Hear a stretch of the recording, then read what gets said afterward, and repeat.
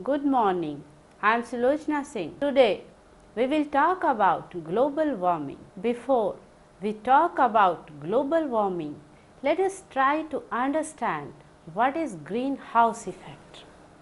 The greenhouse effect has been derived from a phenomena that occurs in a greenhouse.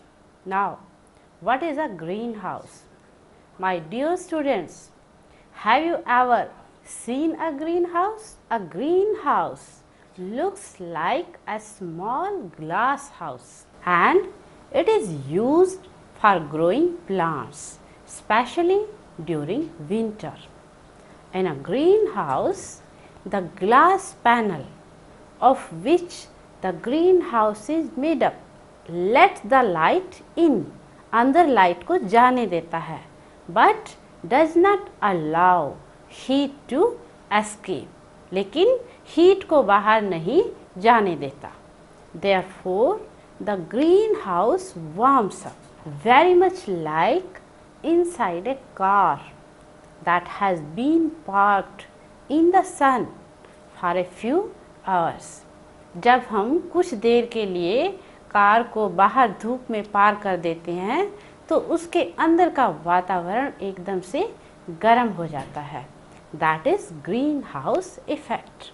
The greenhouse effect is a natural phenomena and it is responsible for heating of earth surface and atmosphere. Now dear students, you would be surprised to know that without greenhouse effect, the average temperature at surface of earth would have been very low that is minus 18 degree Celsius rather than the present average of 15 degree Celsius.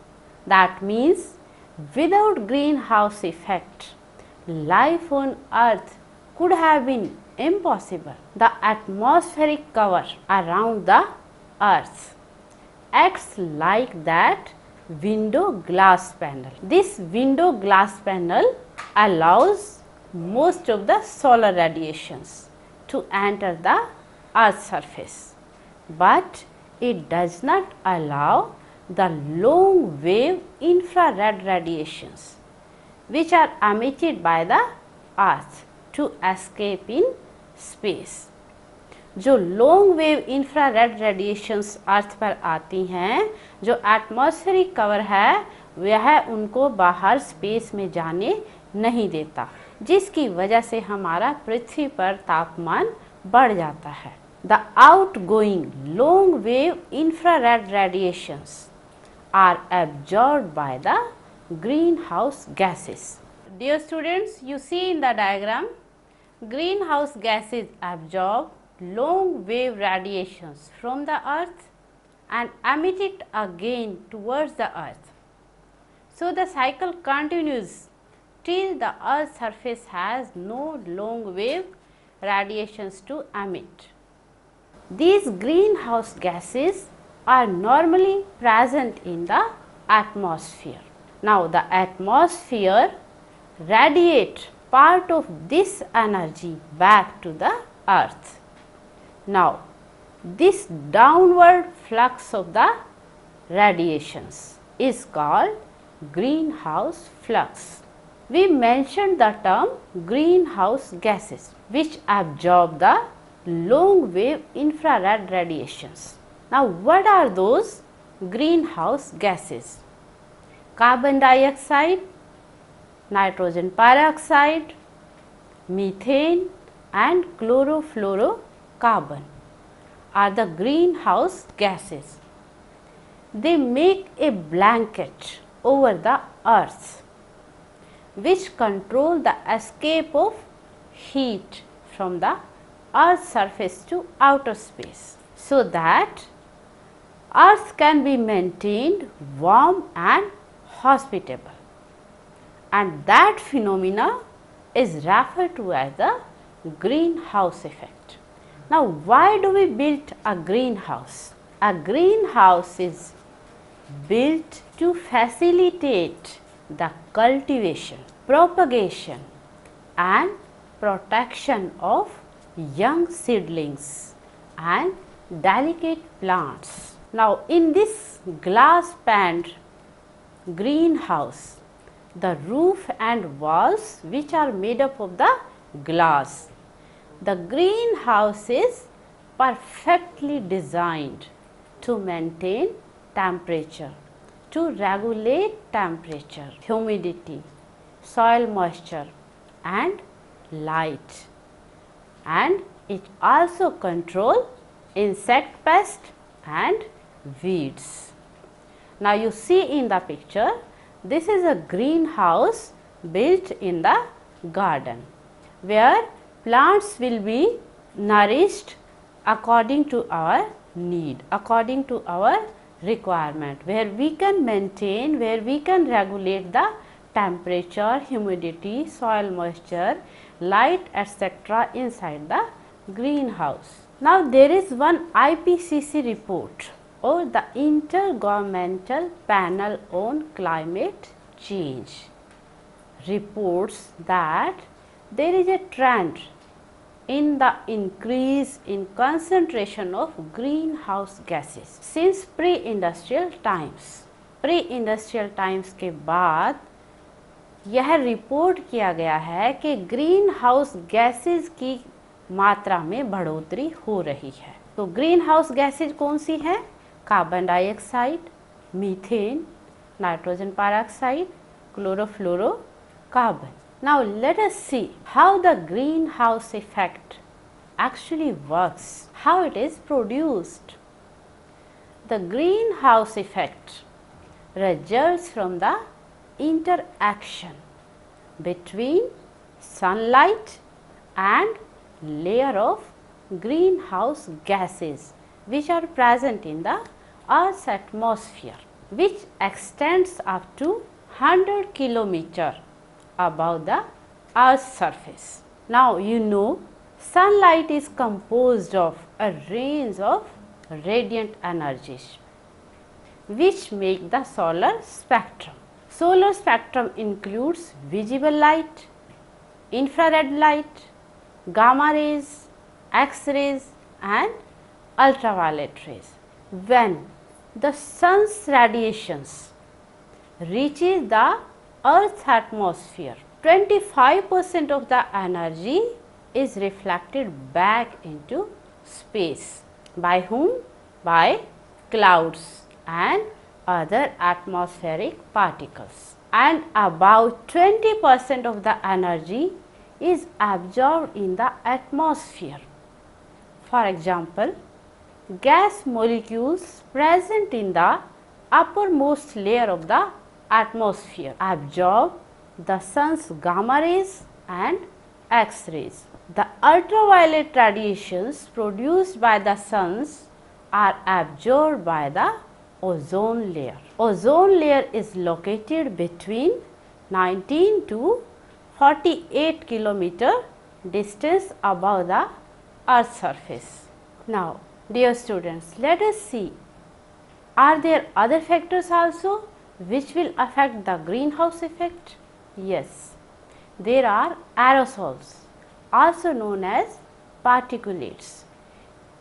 Aerosols or particulates are airborne particles which absorb, scatter and reflect radiations back into space.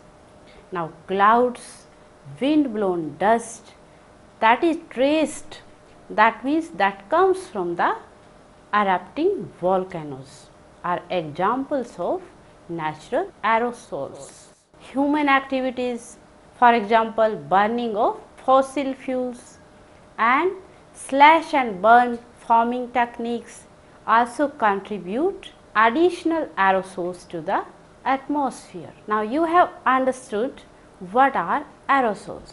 Now let us see what is the function of the aerosols here. Aerosols are not a heat trapping greenhouse gas, but they do affect the transfer of heat energy radiated from the earth to the space. The effect of aerosols on climate change is debated. That means कुछ हमारे वैज्ञानिक कहते हैं कि aerosols का climate पर प्रभाव पड़ता है और कुछ वैज्ञानिक कहते हैं कि एरोसोल्स का क्लाइमेट के ऊपर कोई प्रभाव नहीं पड़ता। But scientist believe that light coloured aerosols cool the earth surface while dark coloured aerosols heat the earth surface the increase in global temperature in the last century is lower than many scientist predicted why Because they took into consideration increasing level of carbon dioxide, methane, nitrous oxide and fluorinated compounds but did not take into account the effect of aerosols. Now let us see what are the effects of greenhouse gases. Due to increase of greenhouse gases in the atmosphere, it has the following effects. First of all, there will be carbon dioxide fertilization, there will be global warming, there will be depletion of ozone in the stratosphere. First of all, let us talk about carbon dioxide fertilization effect.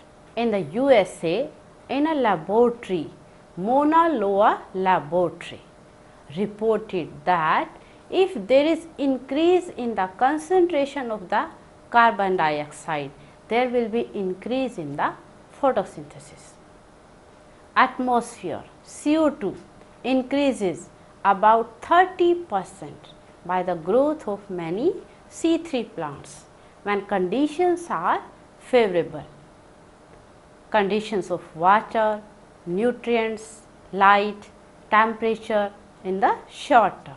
So, the response of plants to increased concentration of carbon dioxide is known as CO2 fertilization effect. Due to increase of carbon dioxide, we talked just now, the rate of photosynthesis will increase and stomatal conductance will decrease.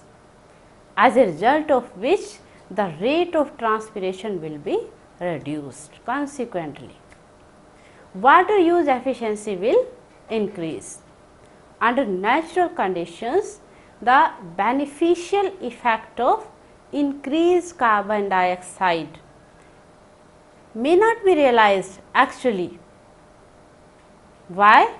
because there is negative effect of global warming. Otherwise, due to increased concentration of carbon dioxide, there will be increase in the rate of photosynthesis. So, that is the positive effect of increased concentration of CO2.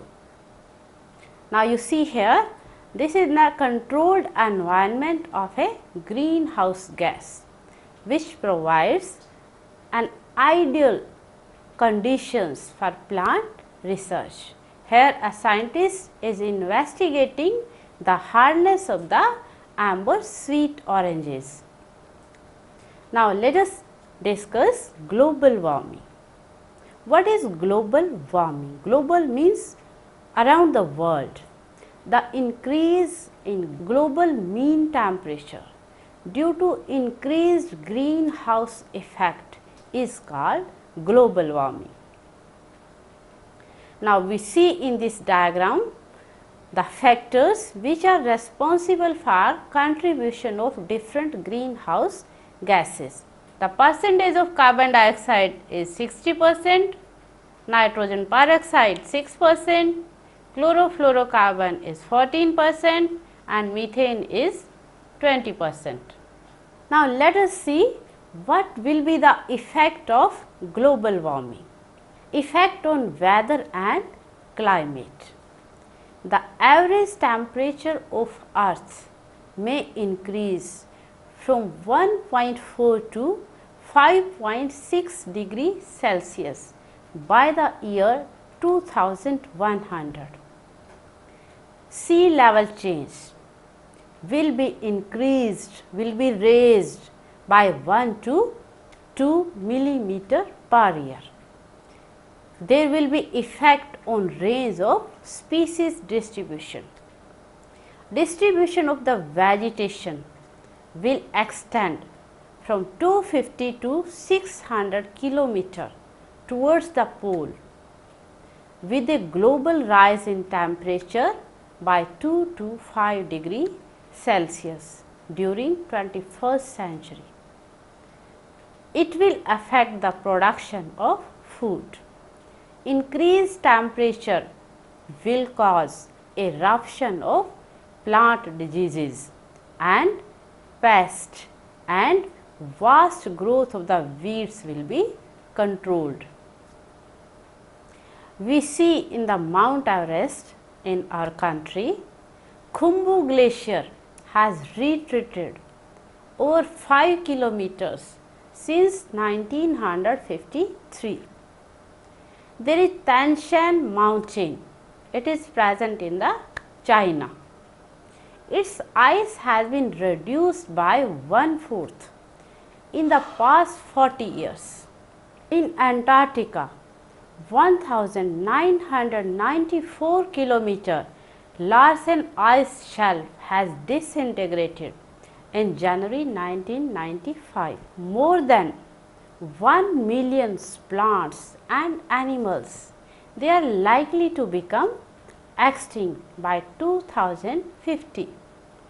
A single transatlantic flight by a jet plane releases about 70 tons of carbon dioxide and chlorofluorocarbon, nitrogen oxide and methane.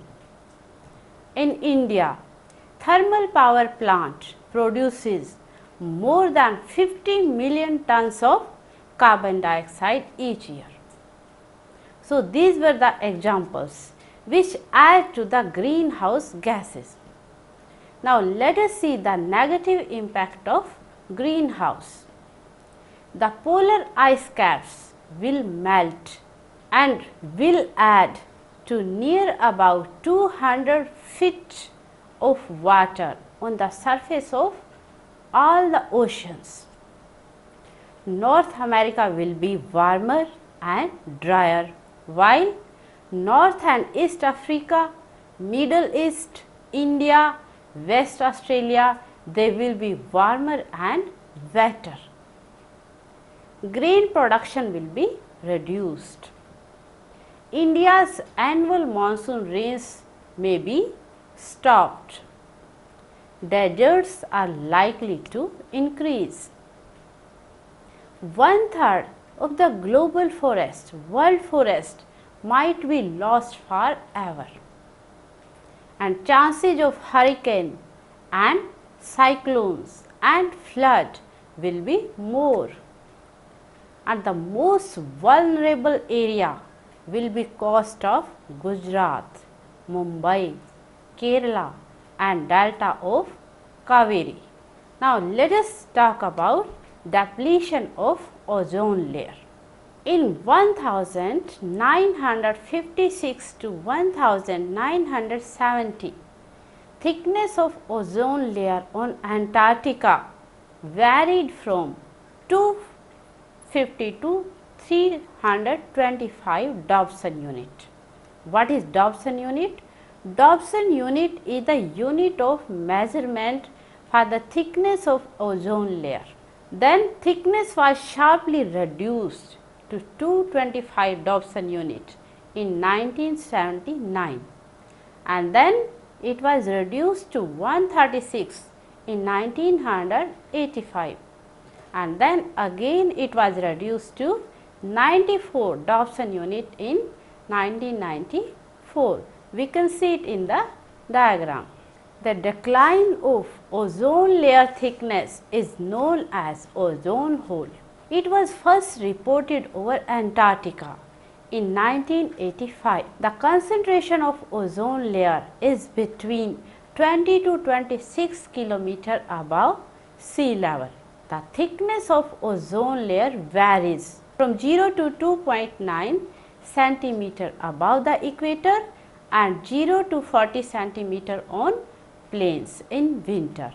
This layer acts as ozone shielding or ozone protecting layer which provide protection to the earth and which provide protection to the biota or living organism present on the earth from the harmful radiations.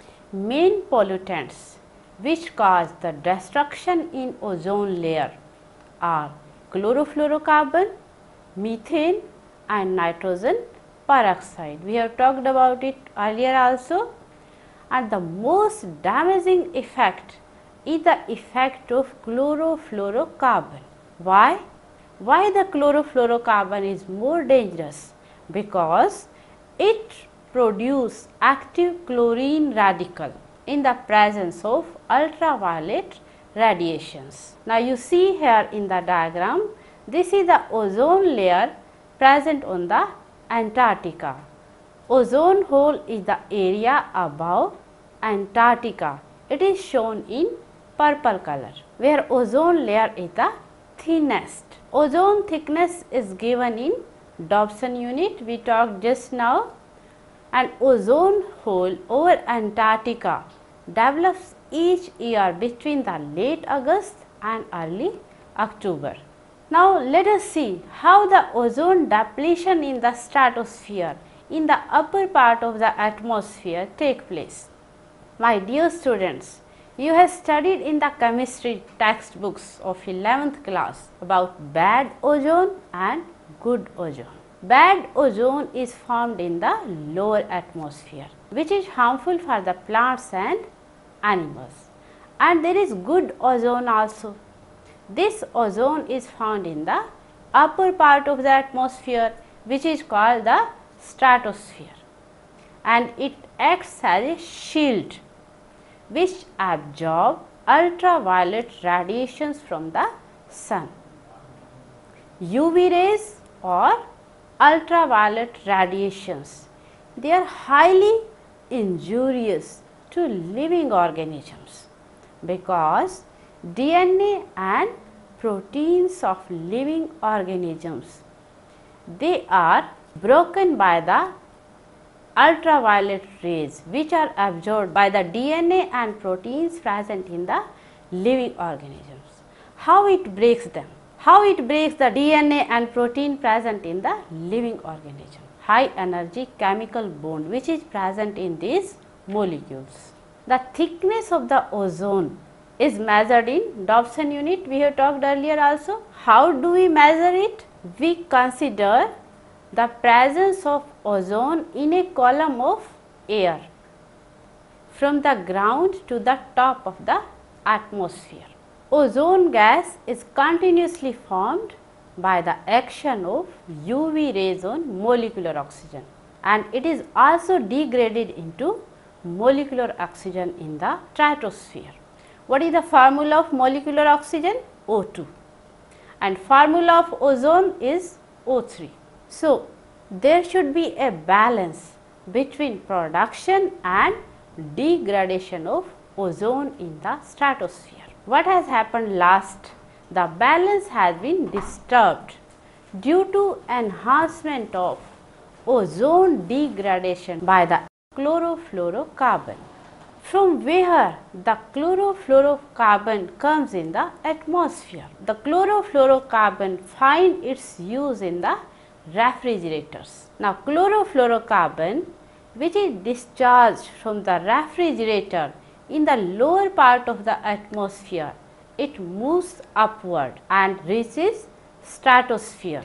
In the stratosphere, UV rays act on chlorofluorocarbon and release chlorine radical.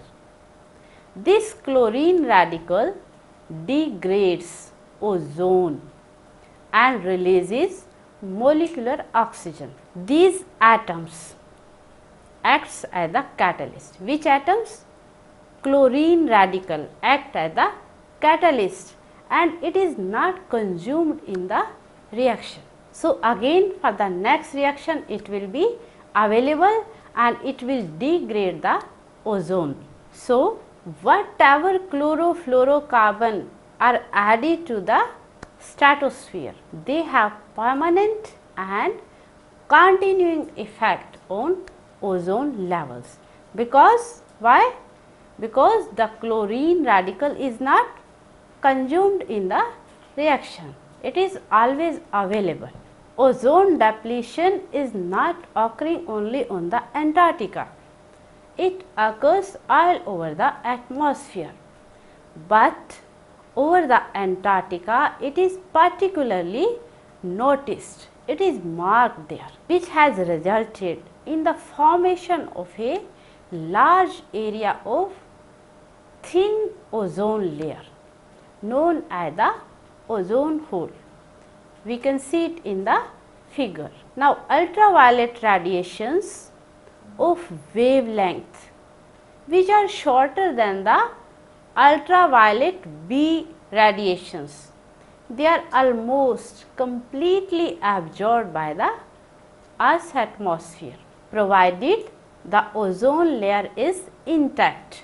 Ozone layer is not disintegrated, but ultraviolet B radiations damages DNA and protein and mutation may occur there. So, the mutations will produce aging of skin, they will cause damage to the skin cells and they may produce various types of skin cancers. In human eye, cornea absorbs ultraviolet B radiations and a high dose of ultraviolet B radiations causes inflammation of cornea which is known as snow blindness or cataract etc. disease are produced in the eyes. So, these exposures may permanently damage the cornea. Now, knowing these harmful or deleterious effect of the ozone depletion, an international treaty known as Montreal Protocol was signed at Montreal. Where is Montreal my dear students? It is located in Canada. And when was the Montreal Protocol was signed? It was signed in 1987 and it became effective since 1989. It was formed to control the emission of ozone depleting substances. We have seen the harmful effect of the ozone depletion. So, this uh, treaty was organized. Subsequently, many more efforts have been made and protocols are laid down which provide definite roadmap separately for developed countries and separately for developing countries. Now, let us see how to deal with the global warming. What are our approaches? First of all, there will be reduction in the greenhouse gas emission by limiting the use of fossil fuels and in place of fossil fuels we will make use of alternative renewable sources of energy. We will have to make use of wind energy and solar energy etc. Increase the vegetation cover particularly the forest area so that rate of photosynthesis can be increased and there may be utilization of the carbon dioxide. We have to minimize the use of nitrogen fertilizer in agriculture so that we may reduce the nitrogen peroxide emission. We have to develop substitute for chlorofluorocarbons. In December 1977, Kyoto Protocol in Japan which included 175 countries to reduce the overall greenhouse gas emission at least 5 percent below the 1990 level and this commitment was to be completed by the period 2008 to 2012. Uh, my dear students, I hope you might have understood the lecture. That was all about it. Thank you.